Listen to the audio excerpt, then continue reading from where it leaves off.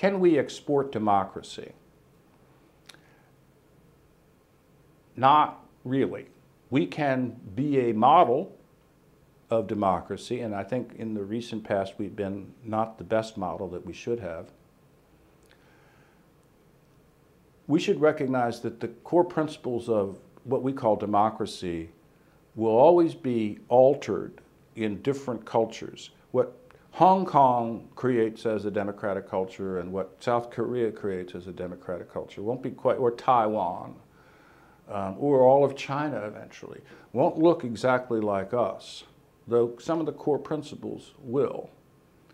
And we can encourage, we can embody, we can exemplify um, but I don't think we, that, that is, there's an iron, ironclad rule that I think all the founders would agree on, including even Hamilton, who's the most um, pugilistic and bellicose of them all. By definition, democracy is a voluntaristic political culture.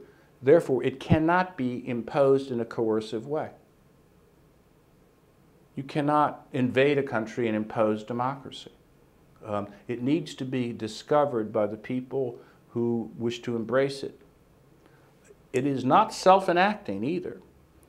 History makes a big difference.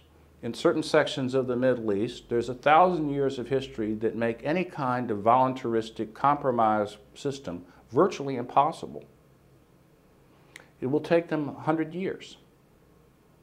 Um, we don't want to have an occupying army there for a 100 years. They've got to do it on their own.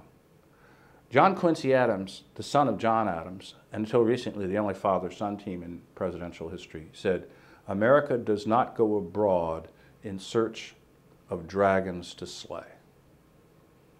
Our democratic mission is to be a democracy, to talk positively about it, to represent its virtues.